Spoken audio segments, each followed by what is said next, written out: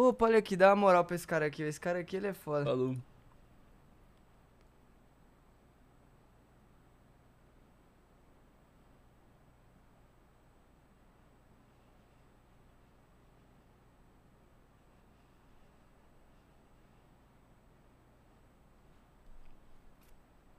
Trabalhou demais, né, galera? Que ele já trabalhou demais. Vão, de... Vão deixar o menino descansar, mano. Cara merece descansar. Não fica pressionando ele, fazendo essas coisas, não. Por favor, mano. Ô, calma aí. Calma aí.